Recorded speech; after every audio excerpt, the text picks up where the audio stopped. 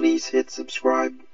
This problem appears at the qualifying examinations for applicants for Japanese government on MEXT scholarships 2019. There are two mathematics exams, one for social sciences mathematics A and another for natural sciences mathematics B. This problem is from the 2019 mathematics B questionnaire. The answer key and the original questions are linked in the description. Problem 4 of 1. When the line y equals m, x minus 5 plus 3 intersects the circle x squared plus y squared equals r squared, where r is a positive number, if and only if 0 is less than or equal to m is less than or equal to blank, then r equals blank. Let us recall the following. First, the point-slope form of a line on the xy plane is given by this. Here we have a slope m, and this means that this line goes through the point x1, y1. Furthermore, if the angle that this line makes with the positive x-axis is theta, then the slope is equal to the tangent of that angle, theta. Furthermore, the perpendicular line, or rather the line perpendicular to this line, will have a slope of negative 1 over the slope of this line, that is negative 1 over m. Let us first draw the given. First we are told that there is this line, and if we rearrange the terms in this line, we can obtain this which is the point-slope form of a line. This means that the slope of the line is m and that this line goes through the point 5, 3. And so we draw the point 5, 3 on the xy plane. We draw some lines. We notice that any line that goes through this point will have this equation. And so our m can be anything as long as it goes through 5, 3. However, the problem also tells us that the value of m is restricted. It could only be between 0 and some value capital M. Now, that means that some lines will not be considered as satisfying this condition. The second condition is that there is a circle of this equation. This is the standard form of a circle with a center at the origin 0, 0 and a radius r. It is said in the problem that this line intersects this circle when the slope m is between 0 and capital M. That means that we are thinking or we are looking for lines that go through the circle like this. And we are not looking for lines that does not intersect the circle, like these. And so, we confine our attention to these lines. Normally, the line would intersect the circle at two different points. For example, this line intersects the circle at this point and this point. However, there are two special cases where the line intersects only at one point, and that is when the line intersects the circle at this point here and at this point here. We do not know these points yet. However, we know that they intersect or the line intersects the circle at those points and those points only, at only one point. That means the line is tangent to the circle at those points. We can also see that because 0 is the minimum possible value of m, we cannot tilt this line any further. If we tilt if we tilt this line in this direction, the line would not intersect with the circle anymore.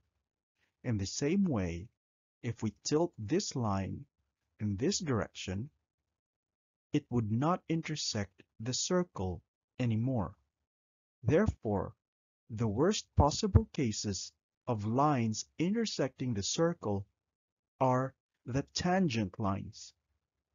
And therefore, the line that is tangent to the circle is this line with a slope 0 and this line with a slope capital M.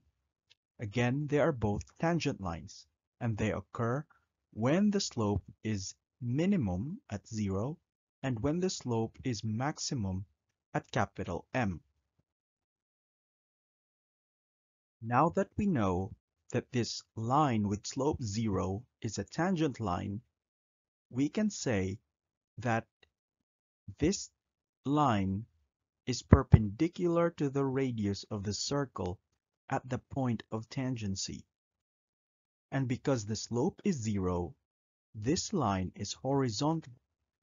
And therefore, the distance from the point of tangency to the center of the circle, which is the radius of the circle, this is equal to the distance from this point to the x-axis.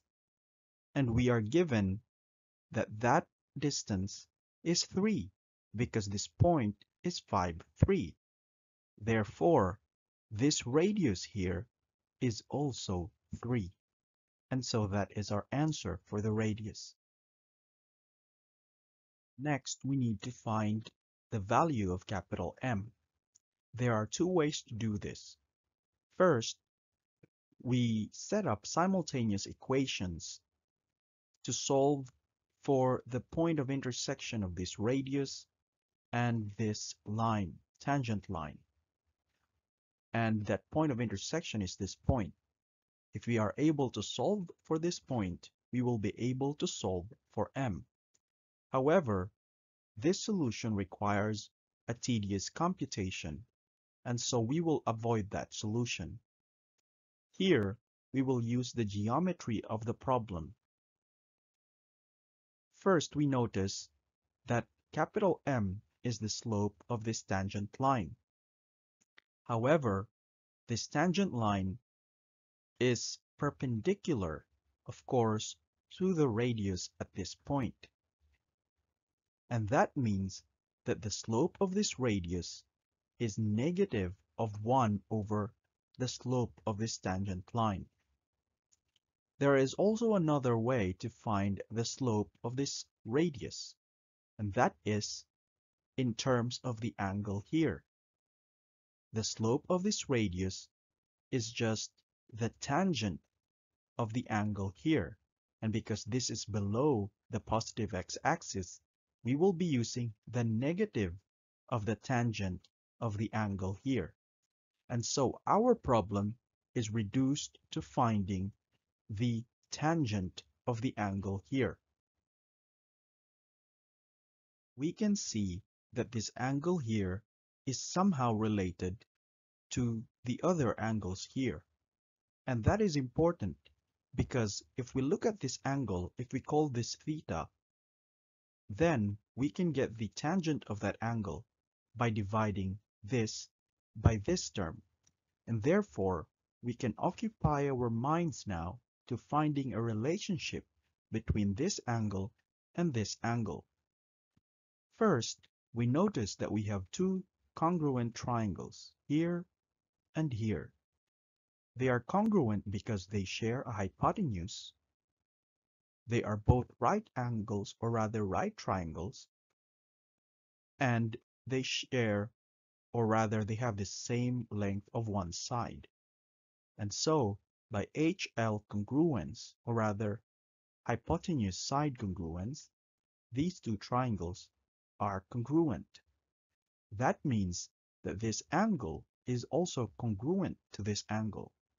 That means the angle, this angle plus this angle is 2 theta. Furthermore, we know that this here makes a perpendicular or rather a right angle with this.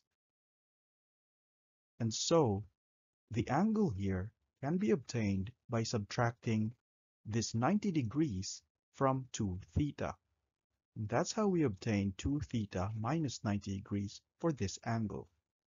Therefore, the slope of this radius equals the negative of the tangent of this angle, which is 2 theta minus 90 degrees.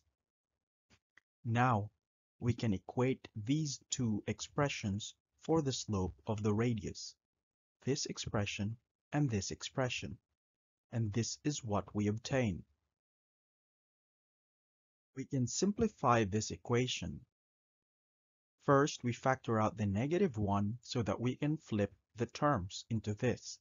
Because there's a negative sign here, the negative 1 cancels that to give a positive sign. And now, this expression is the complement of 2 theta, which means that we can express this in terms of the cofunction of tangent. The cofunction of tangent is cotangent, and because 2 theta is the complement of this, we can use cotangent of 2 theta.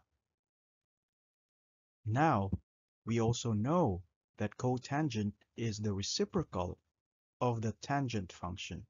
And so we can also express this like this. Now we can say that this expression equals this expression. And therefore, this expression equals this. Now we just have to find the tangent of 2 theta, which is related to the tangent of theta. This is not very hard because we can see from the drawing that we can actually get the tangent of theta from this given. Notice that this is a right triangle and therefore the tangent of this angle theta is just this length which is 5 over this length which is 3. Furthermore, we know from the identities that the tangent of 2 theta equals the 2 times the tangent of theta over 1 minus the square of the tangent of theta. And we can now substitute the values of tangent theta in this equation. And this is what we obtain. We simplify this using several algebraic steps, and eventually we obtain m to be this value. If you learned something new today, please help my channel by clicking the subscribe button and the bell for the notifications. See ya!